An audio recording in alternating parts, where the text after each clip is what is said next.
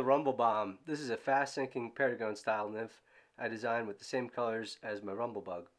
I tied that a few years back with Tim Flagler on his Tightlines video channel, and it's been one of the best selling nymphs on our Guide Flies website.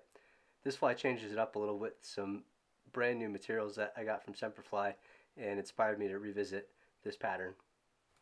So for the hook I'm going to be starting out with a heavy barbless number 14 style jig hook, a 3.3 millimeter silver slotted tungsten bead head. The rear hotspot thread is going to be a wax 6.0 fluorescent orange from Semperfli. That's getting a Perdigon body quill in fluorescent orange over it. Then the main body will be a Glo-Brite number 15 fluorescent purple and that's getting topped with some iridescent purple Perdigon body quill. The tail is going to be some medium speckled Coq de Leon. You can use whatever you like there. The resin that we're going to top that with is going to be some Solarez Bone Dry and it's going to get a little spot of black above the bead there for the wing case. And you can change these colors out, use black thread for the main body, uh, brown works good for a Frenchy style fly.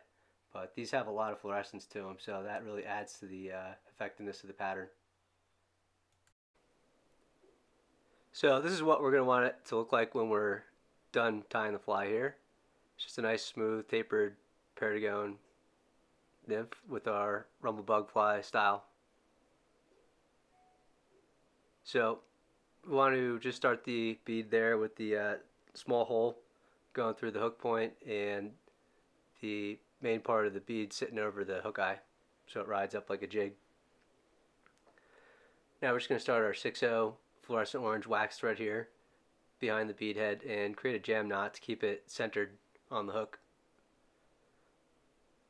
And a good quality bead's going to have a nice small slot to it so you're getting a lot of tungsten for your money on those beads and the Umpqua ones are really really good quality tungsten.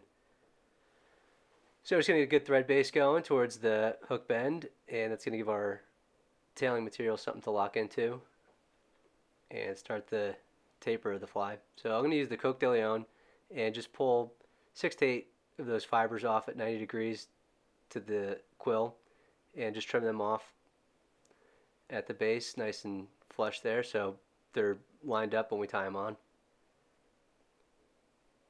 And I'm just going to measure those from the back of the bead to the hook bend so you get a nice short tail to match that chunky little body. And I'm going to use that thread to just sort of center them right over the top of the hook shank and that looks about right. And just get them tied up to the back of the bead and trim them down. Help get your taper going. Sharp scissors are really important for tying these small flies like this.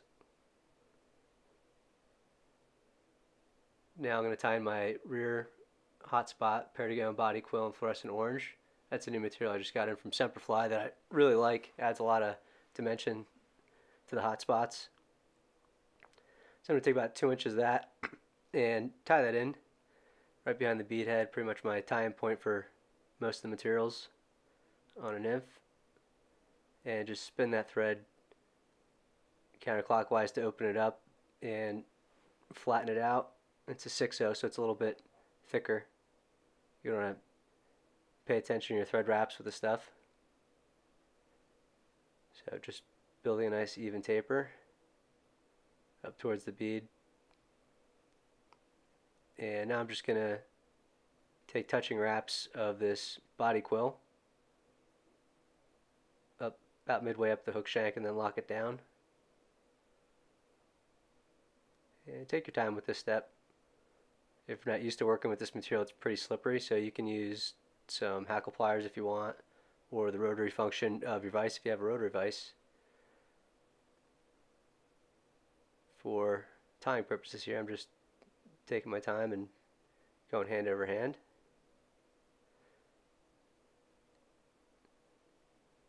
And I'll just trim that down there. And now I'm going to bring my orange thread up to the back of the bead and just whip finish that off.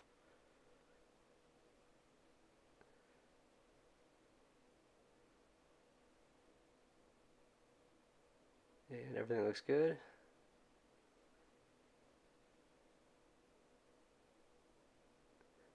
And next I'm going to get my fluorescent purple Glo-Brite ready. You can also use, I've got some new uh, Fluoro in purple from Semperfli. It looks really cool too if you want a little bit darker body on there.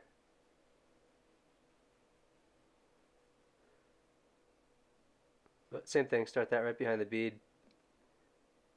And this is a thicker floss, so you're going to want to pay attention to your, your thread wraps here and open that up if you need to.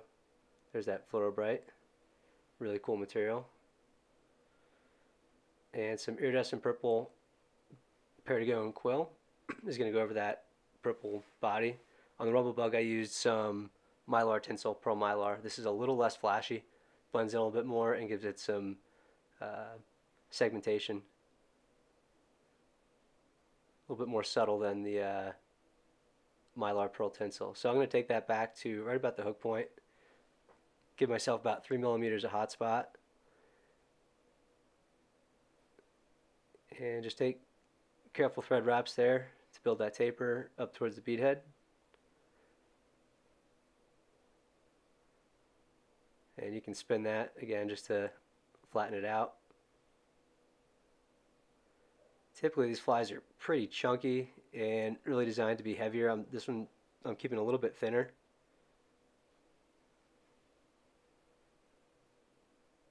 Just matches the little thin winter mayfly nymphs a little bit better that I'm trying to match up right now, but you can tie this really fat if you wanted to.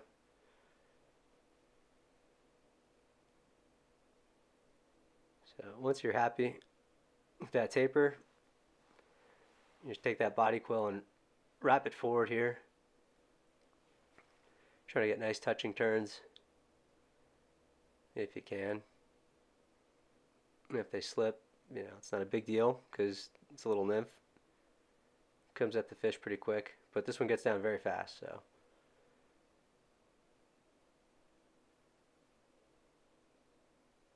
And just lock that in. I like to tie things in up against that slot on the jig bead.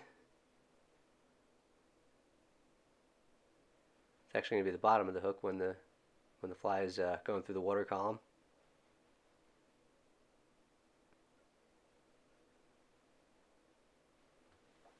And we're just going to want to give that a couple turn whip finish to lock that down.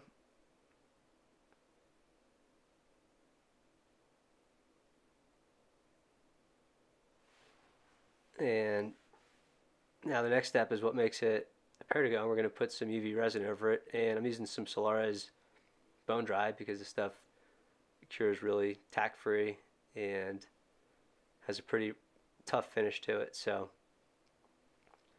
just going to take a bodkin because it's a small body. I want to be pretty exact where I put it. And I'm going to put that over the threads and just sort of let it soak in a bit.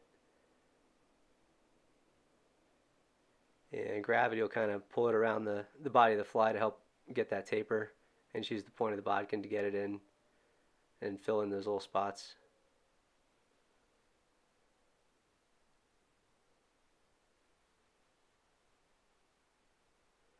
You're going to probably want two bodkins for this fly because we're going to use some black resin for the little wing case.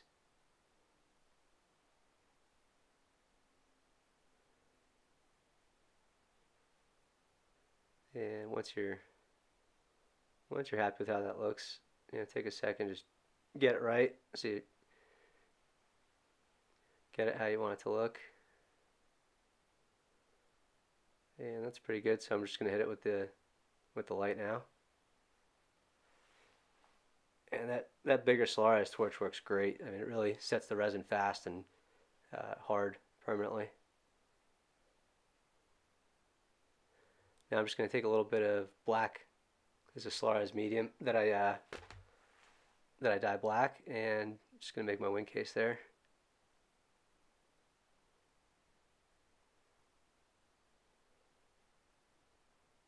And just a little highlight on the fly.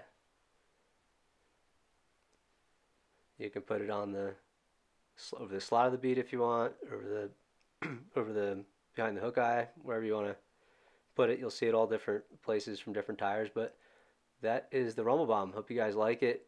You know, tie it in a few different colors. You can do them in 14s and 16s. Down to 18s would be a cool little fly.